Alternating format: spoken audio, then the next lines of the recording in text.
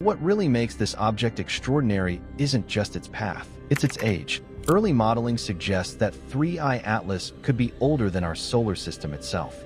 Not just older than Earth, older than the Sun.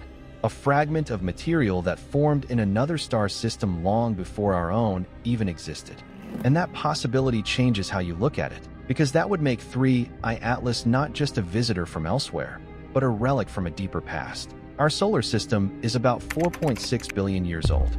It formed from a swirling disk of gas and dust, left over from earlier generations of stars that lived and died before the sun ignited.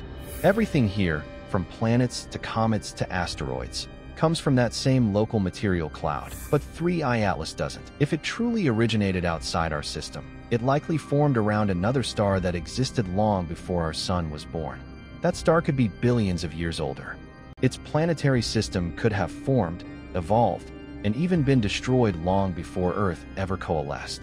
Which means 3I Atlas could be carrying material shaped in a completely different cosmic era, possibly older than anything else we've ever directly observed passing through our neighborhood.